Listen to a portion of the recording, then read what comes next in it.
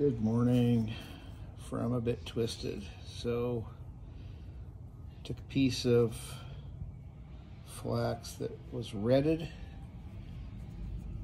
that I pulled out of the tank yesterday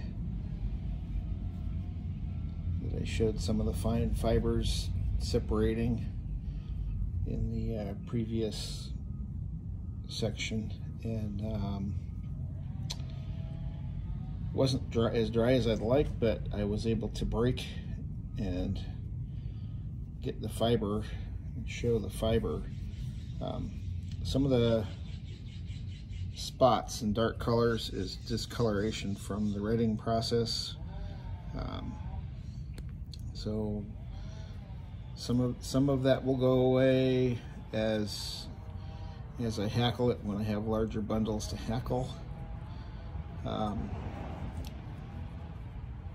the, the fineness of the fiber and the softness of the fiber is almost on equal par to the uh, English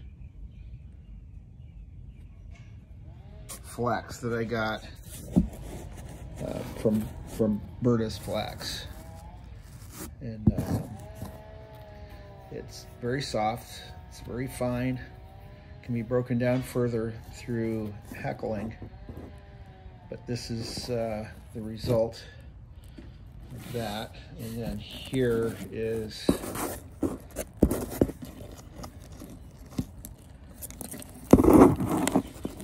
the ends of the same stock that have not been broken yet.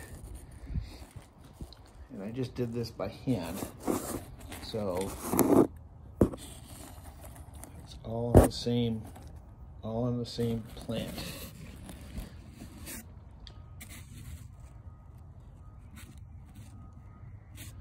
Just wanted to show you that this morning. We're gonna show more.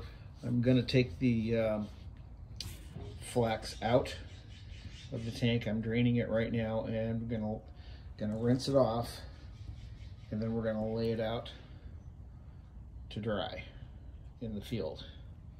And um, so tomorrow maybe it'll be it'll be ready to start breaking. So things are moving along quite nicely and it's uh, looks looking like some pretty nice fiber. And we'll talk to you then.